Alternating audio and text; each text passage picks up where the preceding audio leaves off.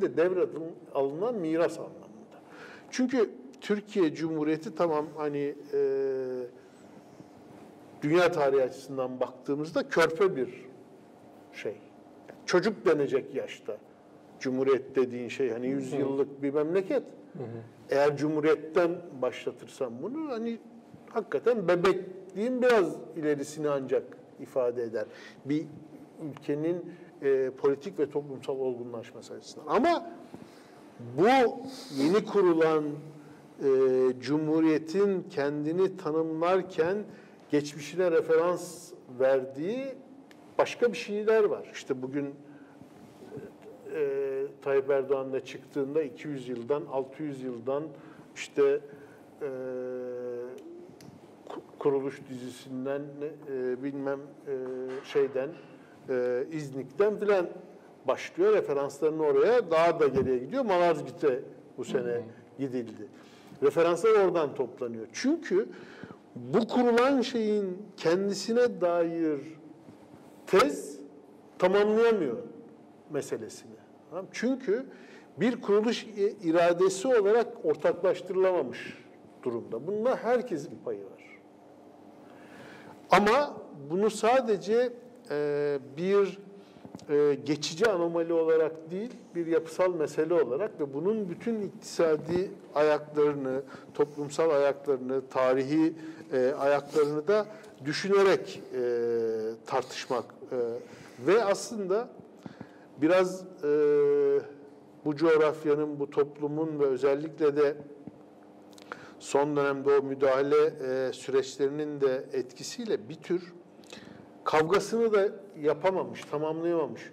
Kavgasının, çatışmasının acılarını yaşayan ama onu tamamlayıp geride bırakamayan bir ülke burası. Yani bugün işte e, hani demokrasinin daha kökleşmiş, kurumsallaşmış olduğunu düşündüğümüz kıta Avrupa'sıysa mesela çok kanlı bir geçmişle bunu yapmış ve bugün de işte yine e, çok çarpıcı biçimde çok sert bir deneyimden çıkmış olan Almanya'da bugün tekrar sanki onu hiç yaşamamış gibi bir dalganın geldiğini görüyor ve ne yapacağını bilemiyor. Yani bütün o kurumsallaşmaya, kökleşmeye rağmen.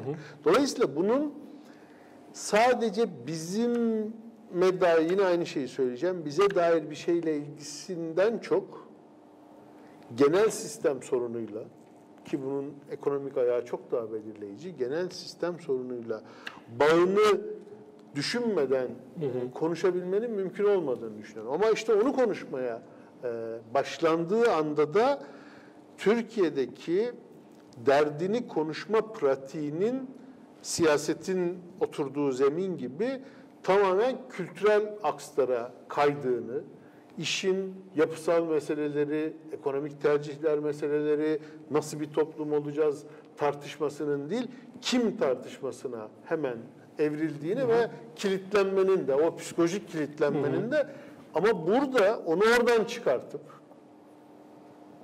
yani derdi biz nereden konuşmaya başlayacağız? Yani Onu abi bir der- sonrakinde konuşalım. hayır, hayır, dert ne olursa olsun derdimizi kim çözecek ben onu biliyorum. Benim benim adamlarım dediğin anda derdi konuşmuyorsun. Adamları konuşmaya başlıyorsun meselesi.